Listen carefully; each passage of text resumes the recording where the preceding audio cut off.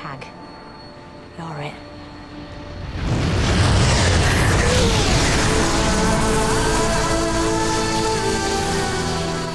I've no idea what's going on.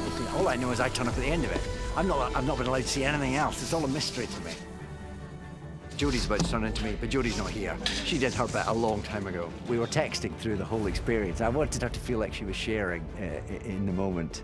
The director of the Centenary only did Jodie's part. So I was given the footage and said, okay, regenerate to David. We want to reverse the shot, Yeah. push in, and at this point have the clothes disappear. Right. By the time you come out of that into the forward position, Yeah. it'll be fully you. Yeah. Um, and then you'll have to tell us what you want to do. You did exactly as I did last time. now. I wanted to make sure we saw the clothes and saw them change within the regeneration energy and then end on David's face.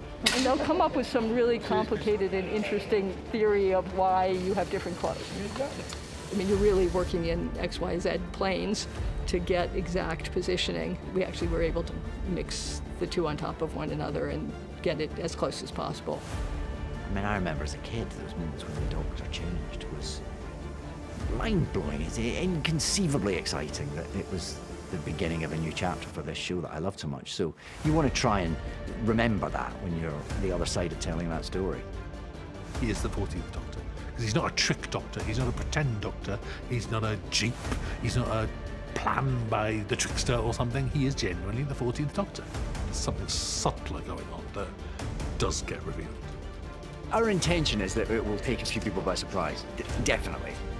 And, part of the idea of announcing uh, Ncuti's name was so that people would be expecting him to turn up in this scene.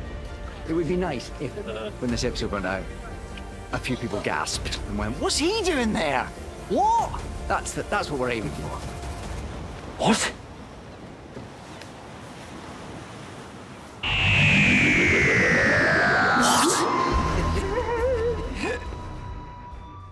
Don't forget to click below to subscribe to the official Doctor Who YouTube channel.